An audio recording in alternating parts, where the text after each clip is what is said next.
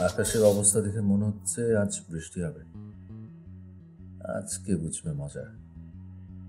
এই বাড়ির ছাদে একবার আটকা পড়লে ভেজা ছাড়া কোনো উপায় নেই।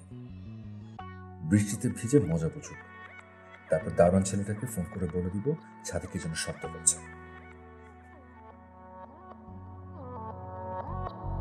Thank you.